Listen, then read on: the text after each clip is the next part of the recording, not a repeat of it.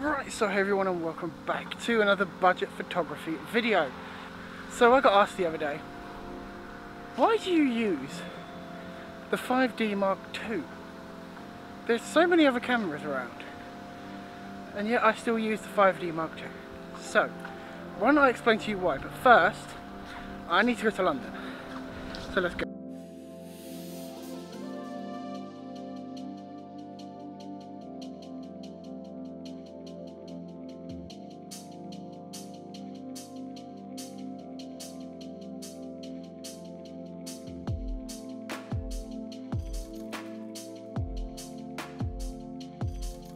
Before I tell you actually, I'm gonna go get some coffee from Starbucks. That's better. Yes, it is a pumpkin. I need to move this back, you know, this isn't... This lens isn't really wide enough for this shot. So, why am I using it? I mean, ugh. It was made in, what, 2008? And other cameras have come out since, such as in my other review of this camera.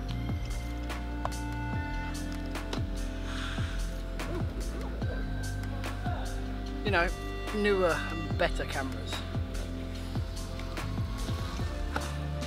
Such as the R5, or the R6, or the Nikon Z range, or Sony A7s. But what you've got to realise is the fact that the 5D Mark II, even in 2020, is really, really good. Except for this dangly strap, this actually really annoys me. I don't even know why I put it on there. The 5D Mark II came out, as I said, in 2008, in a time when digital SLRs were still kind of a new thing, especially to have them kind of features. At the time, the 5D Mark II was equivalent to the current R5.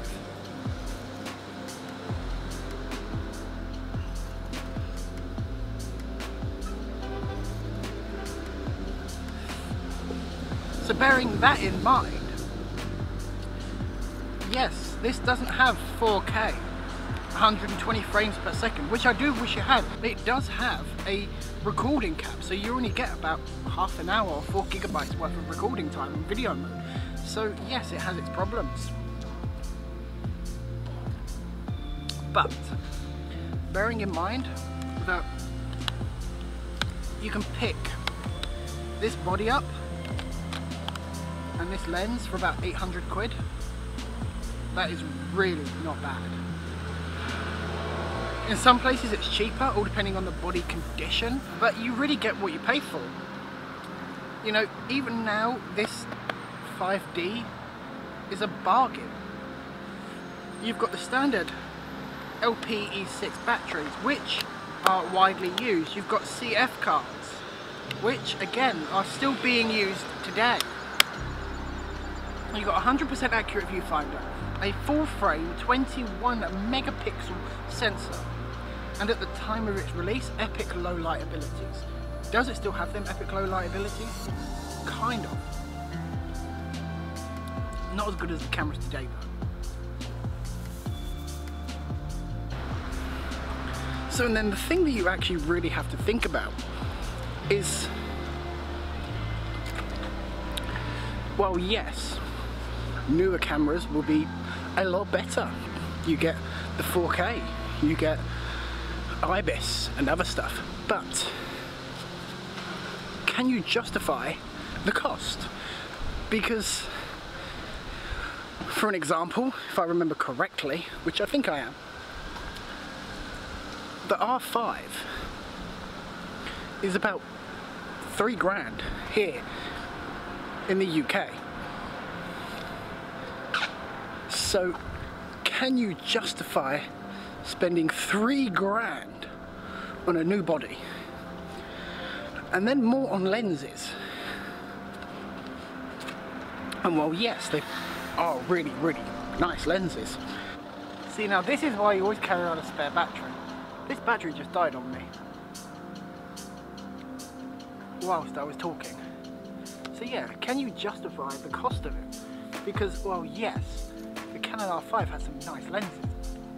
EF lenses, whilst not as expensive, are still probably better for the time being. So what you got to remember is the fact that because EF lenses have been around for God knows how many years, the second-hand market is saturated with EF and EFS lenses. There'll always be a good market at a cheap and reasonable price for a good lens.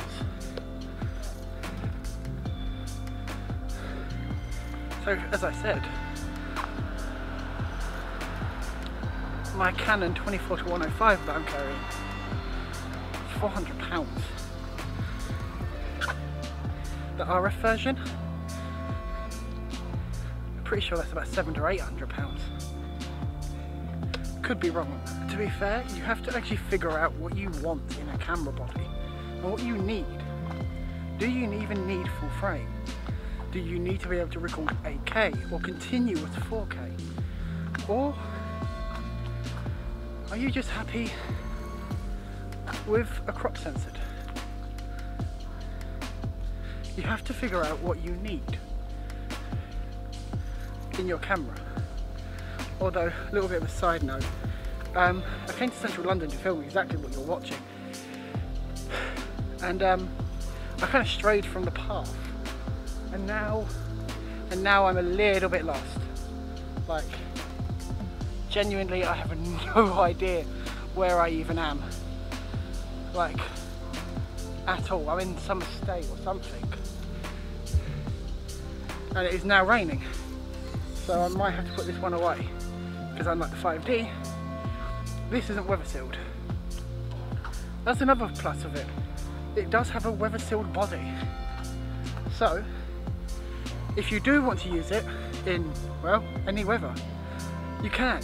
You have that opportunity to be able to go out into, into the rain and shoot video, photos, especially if you get the included kit lens,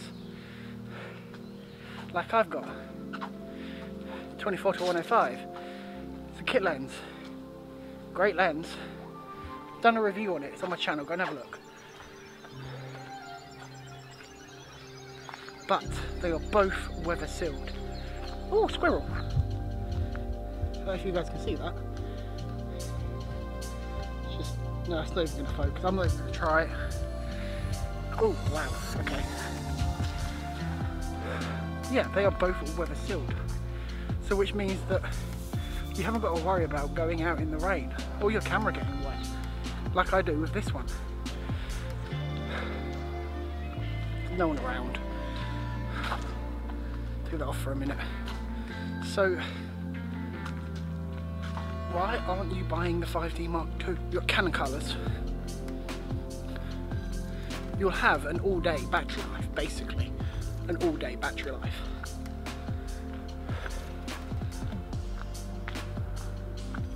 great lenses, really nice lenses. 70 to 200 f2. So I'm still trying to find my way out here.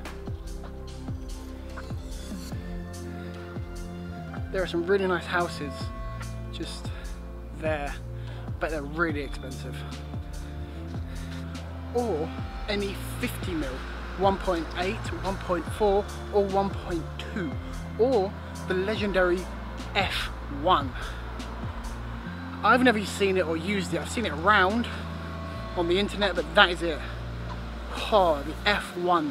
That low light will be epic. Just epic.